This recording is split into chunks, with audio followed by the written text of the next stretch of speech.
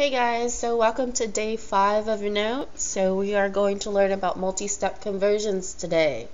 Okay, so remember how to use your mole roadmap. Okay, you must always go through the mole. Okay, because no matter which way you're going, if you're going to mass, to mole, you will always have to use mole in your calculations. Okay, so all these all this week you guys have been learning about converting from particles to moles, moles to liters, or mass to moles. Okay, so we talked about how if we're converting from particles to mole, then our conversion factor is always going to be 1 mole equals 6.02 times 10 to the 23rd particles. Okay, if we're converting from liters to mole, then our conversion factor is going to be 1 mole equals 22.4 liters. And then if we're converting from mass to mole, then our conversion factor is going to be 1 mole equals molar mass. Okay, and don't forget what molar mass means. Molar mass means what is the mass of your compound that's in your problem. Okay, so you always have to look at your periodic table to determine what the molar mass is. Okay, so like I said earlier, this week you guys have been just converting just single conversion factors. So from mass to mole or liters to mole or particles to mole.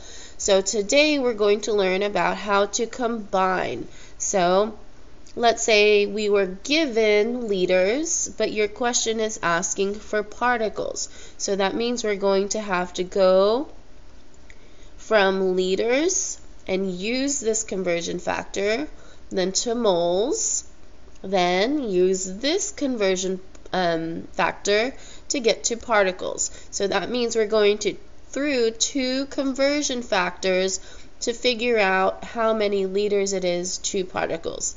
Okay? So if that doesn't make sense, let's just go ahead and do a few example problems then.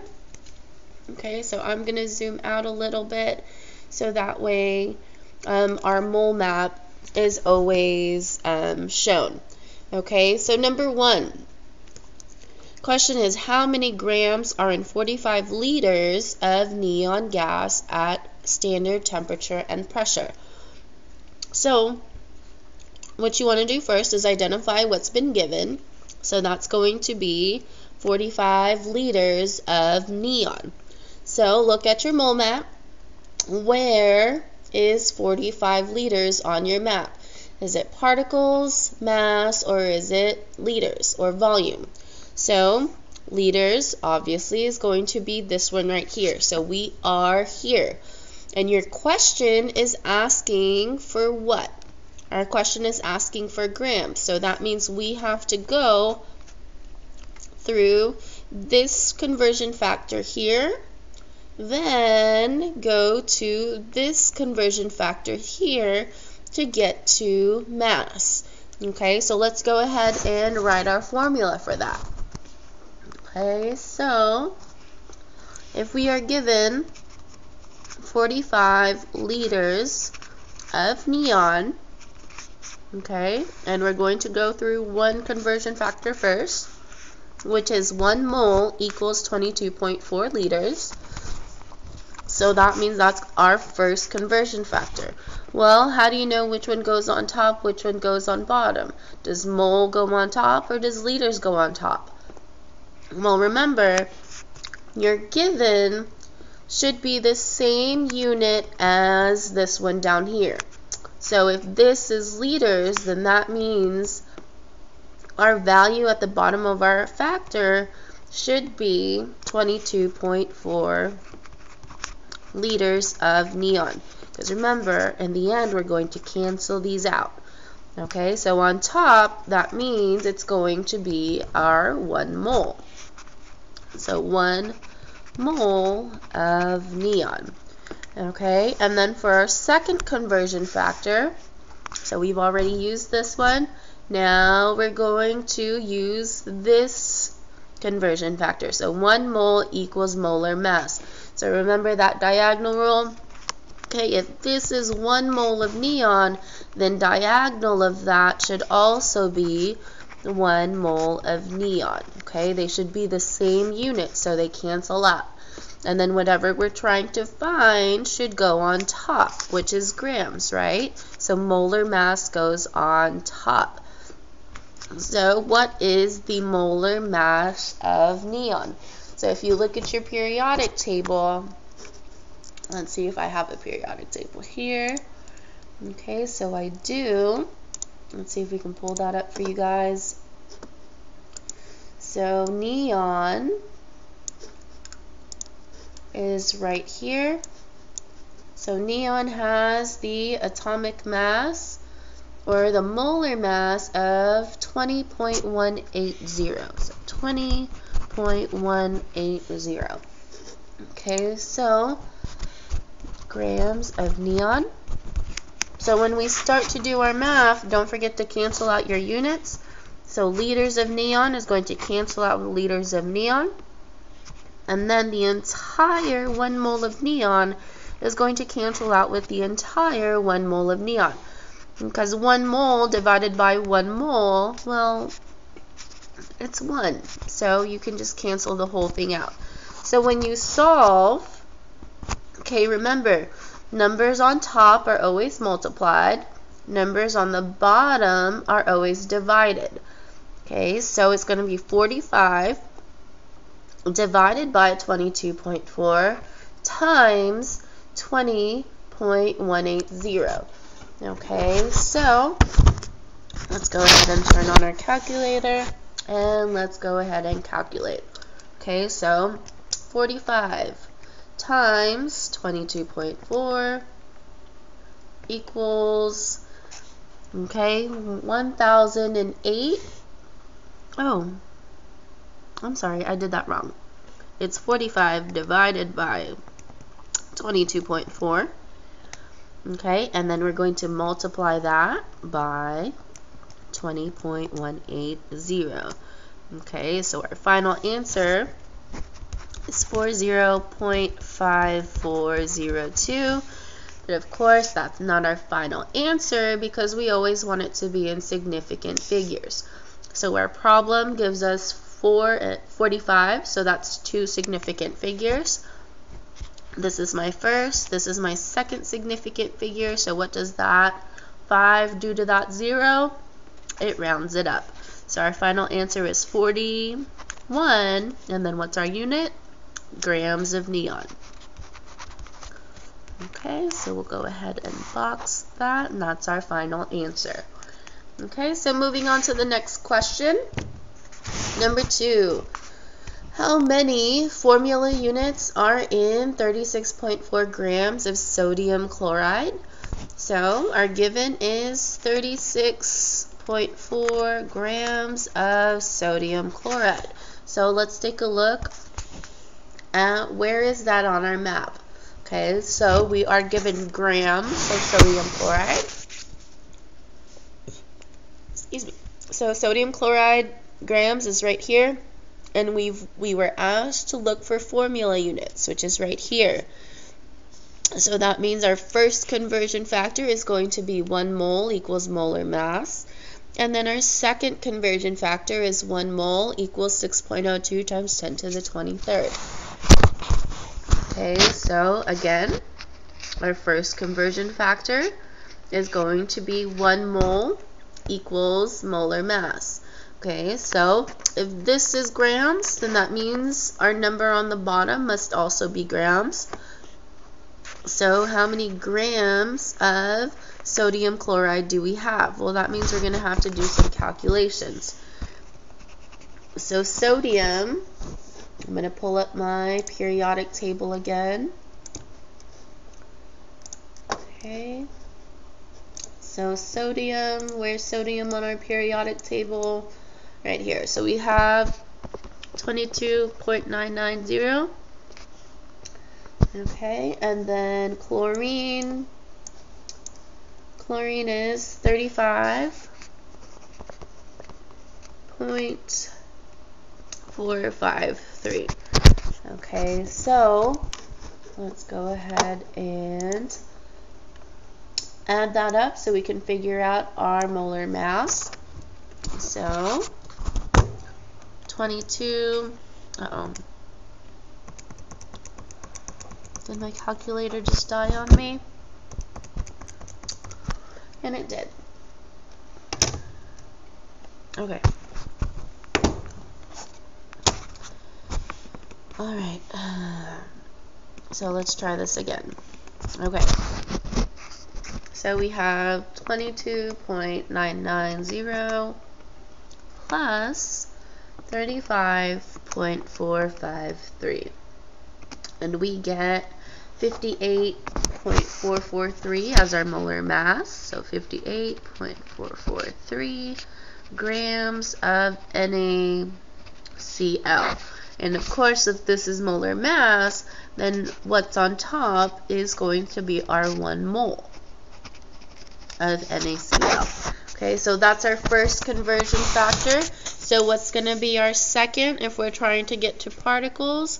Our second conversion factor is going to be 1 mole equals 6.02 times 10 to the 23rd. Okay, so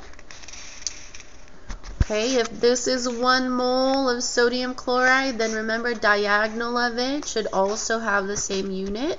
So 1 mole of NaCl. So on top is going to be our 6.02 times 10 to the 23rd formula units of NaCl. It's so long. Okay.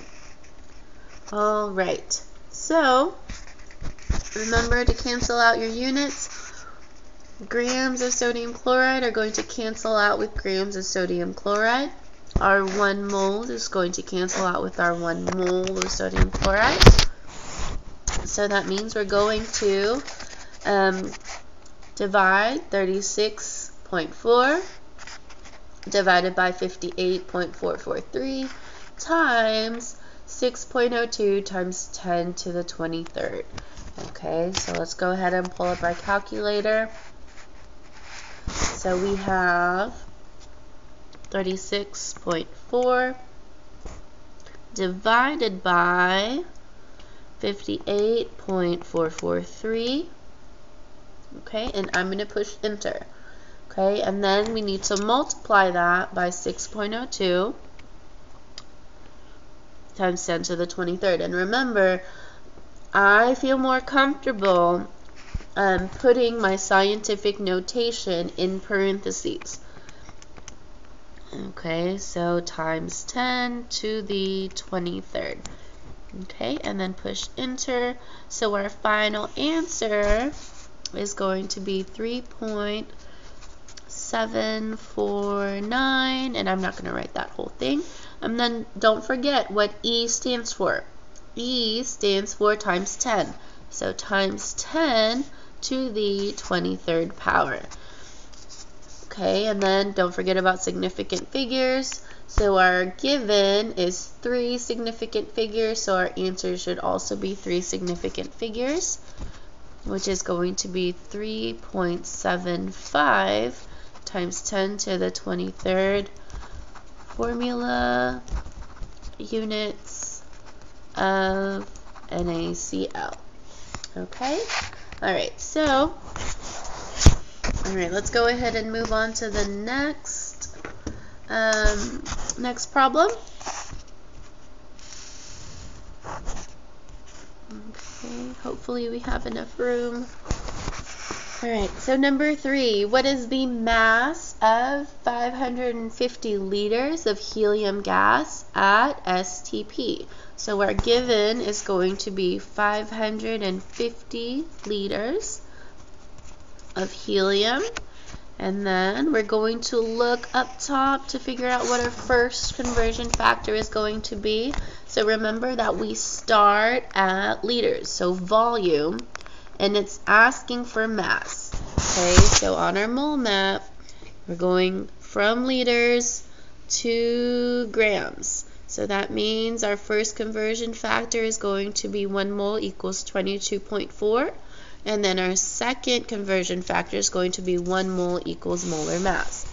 Alright, so, Okay, if this is liters, then this also needs to be liters down here so they can cancel out. So 22.4 liters of helium and our 1 mole is going to go on top.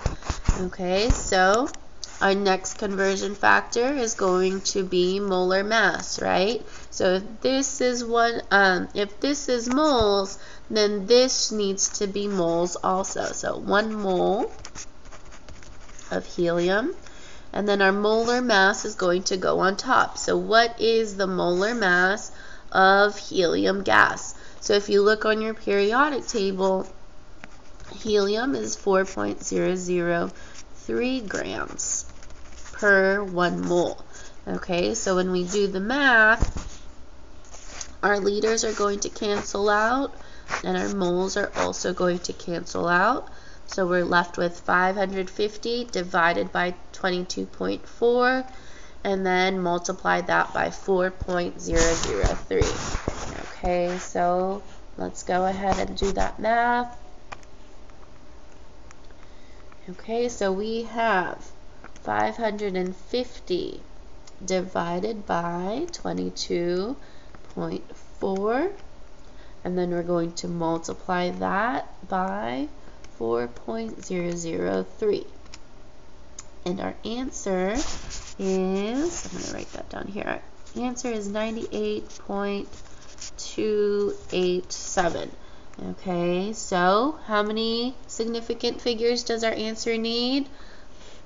If we're looking at 550, then we only have two significant figures, not three. If there was a decimal after that zero, then we would have three significant figures. But since there's no decimal, then we only have two significant figures. So our final answer is going to be 98 grams of helium.